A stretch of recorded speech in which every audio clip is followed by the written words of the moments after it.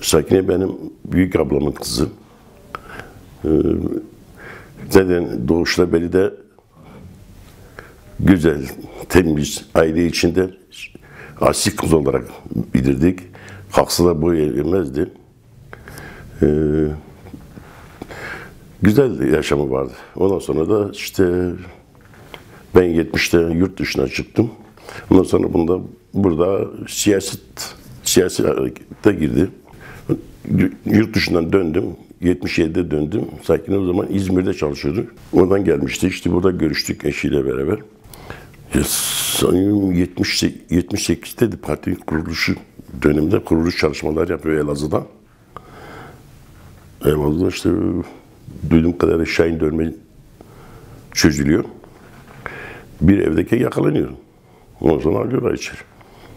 İşte ondan sonra işte devletin işte işkence, işkence derken oradan Malatya'ya gönderiyorlar.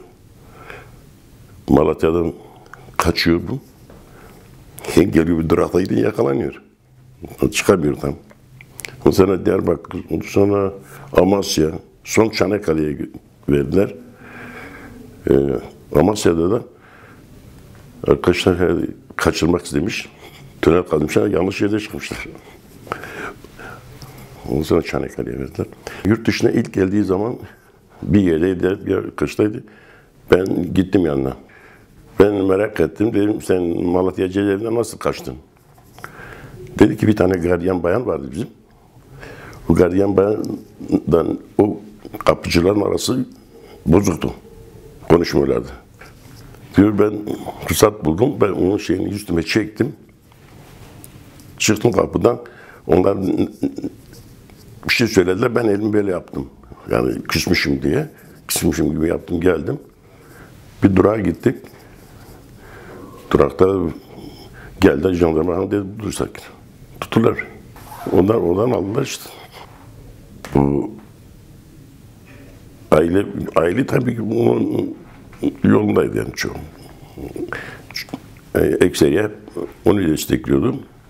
E, ben geldiği zaman kızım ya biz, biz Türk olup Türk'üz nerede Kürt olduk falan ne Kürtlüğü dedim. Biz Türk'üz falan dedim. Biz işte Horasan'da gelmişiz. E biz tabii araştırmamışız o zaman. Bu da Gül dedi ki tamam da ne istiyorsan öyle yap dedi. Yani o benim beynime şey yarattı biliyor musun? Ondan uyandım. Dedim, bu insanlar böyle mücadele veriyorsa demek ki bunda bir şey var. Ondan sonra ben de araştırmaya girdim. Sonra gittim Almanya'ya. Kendime dedim ya Allah Allah. Ya ona, dedim bir ana dilimiz öyle, inancımız öyle, her şeyimiz öyle. Biz nerede Türk'üz? Bu Türklük nerede? Ondan sonra baktık ve Horasan tabii ki giden İslamiyet'in çıkışında buraya kaçan Kürtlerdir.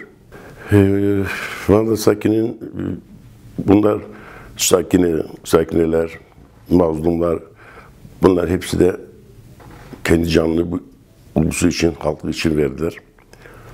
Ve onlar gözü arkada kalmadı.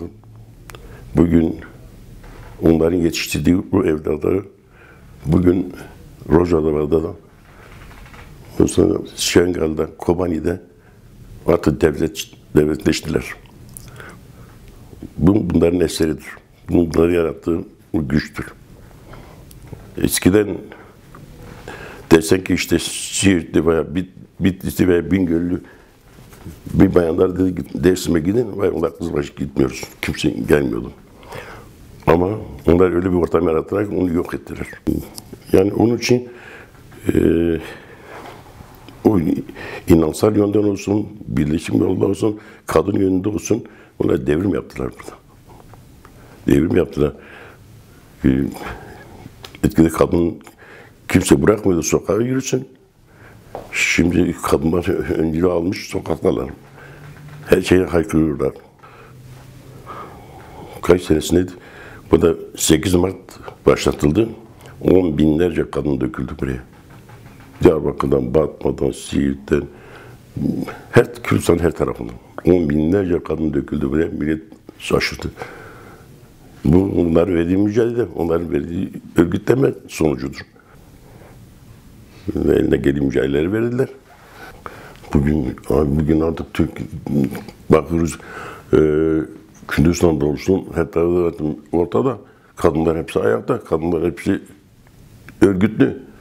E, e, herkes bugün belediye başkanları, milletvekilleri, parti başkanları, kadınlar o, o sayede bu, buraya geldiler. Yani şimdi e, neredeyse erkeklere yer kalmadı. E, karşısındaki gördüğü güç oydu. Gördüğü güç PKK'da, PKK'da kadın örgütlemesiydi.